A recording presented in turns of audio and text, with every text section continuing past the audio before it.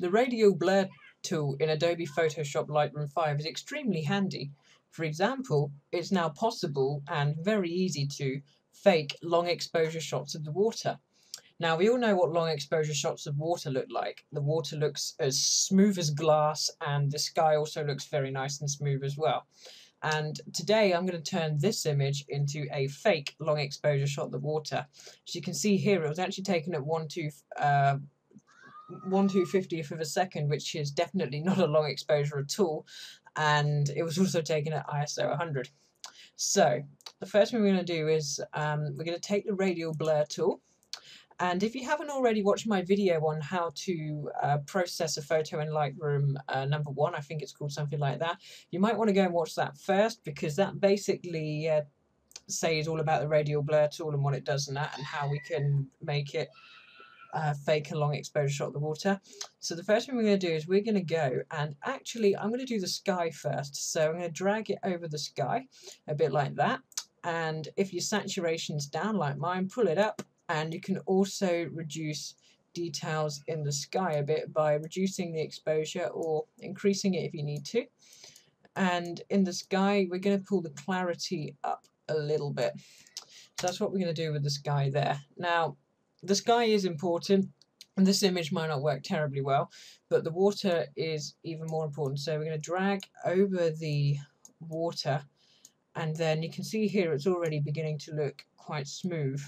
And all we need to do is pull the saturation up a bit really reduce the clarity. Now make sure when you're reducing the clarity you try not to reduce the clarity of other things such as those boats too much. You might need to adjust the size of your um, radial blur in order to uh, make sure that doesn't happen shadows you can uh, change uh, pull them up basically what you want is the water to look quite bright and actually a smidge overexposed you can see here the exposure is uh, 1.24 stops above the rest of the picture.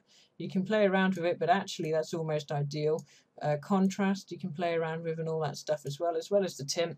I'm actually going to leave it a bit like that. And the water does look quite smooth. Now if you need to change it at any time, you can pull it up. And no, not well, sort of it up. You can change the uh, size of the mask. Now you can go and process the rest of the image as you normally would and for these sort of shots I know that black and white does actually look quite nice so that's what I'm going to go and turn my image into black and white image tiny bit of highlight priority as well and let's also go and slap some tones on because tones are good I'm not really taking any time or care with processing this to be perfectly honest with you I'm just doing it quick for uh, video's sake. But as you can now see, the water does look quite smooth. Stick it back in colour and see what it looks like. Uh, yeah, it looks alright. But as you can see, the water looks quite smooth, and that's basically effect the effect that we wanted to get. This image might not have been the best one to do the demonstration on. Something like this uh, does work quite well. Something a bit like that. Uh, also works well on this actually, and this bit here looks smooth, but as you can see, you've got the reflections there. So thanks for watching my tutorial on how to fake a long exposure water shot on Adobe Photoshop Lightroom 5. Hopefully you get the idea on how it's done.